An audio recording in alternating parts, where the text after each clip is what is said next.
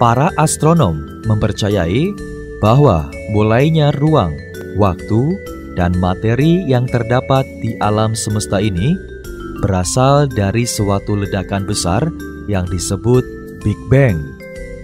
Alam semesta mengembang dengan cepat dalam beberapa tahun pertama sejak terjadinya ledakan besar dalam suhu yang sangat tinggi itu.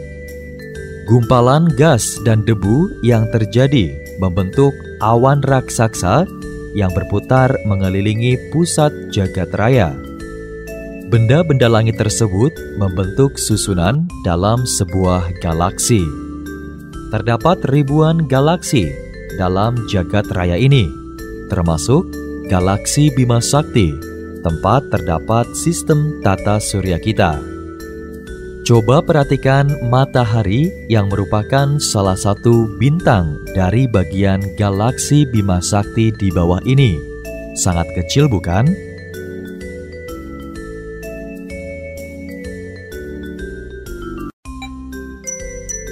Tata surya kita terdiri atas bintang, planet, komet, asteroid, dan benda-benda langit lain yang membentuk satu sistem. Pusat sistem tata surya kita adalah matahari. Planet-planet yang terletak di antara matahari dan sabuk asteroid disebut planet dalam. Sedangkan Planet-planet yang terletak di luar sabuk asteroid atau dilihat dari matahari disebut planet luar. Semua planet dalam bersifat padat dan berbatuan. Sedangkan planet-planet luar merupakan bola gas raksasa. Bagian intinya mungkin berbentuk padat, tetapi permukaannya tidak. Semua planet luar memiliki cincin yang tersusun dari debu dan gas beku. Klik masing-masing planet dan matahari di bawah ini untuk mengetahui penjelasannya lebih lanjut.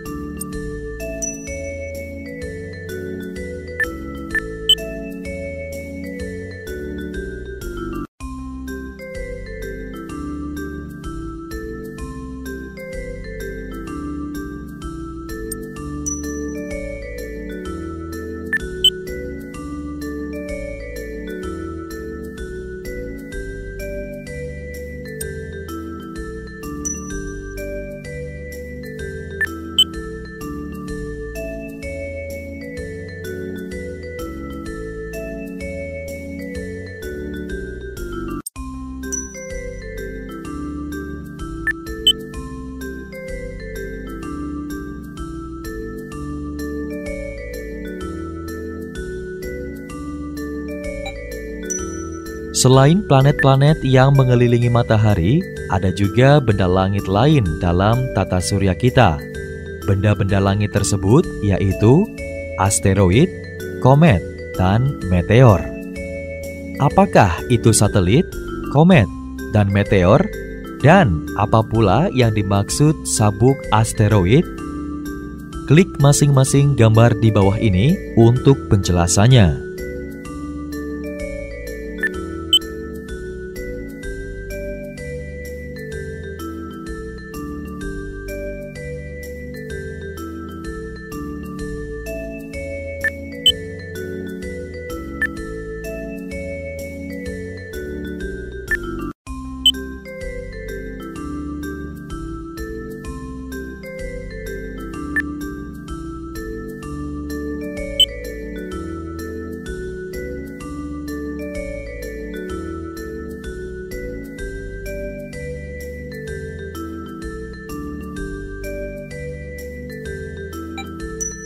Sebagai planet, tentunya bumi akan berevolusi mengelilingi matahari dan berputar pada porosnya atau berotasi.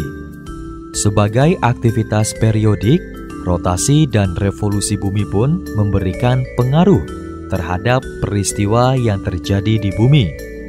Begitu juga bulan sebagai satelit dari bumi. Bulan juga secara periodik berotasi terhadap bumi. Revolusi bumi dan bulan ini menyebabkan berbagai peristiwa di bumi.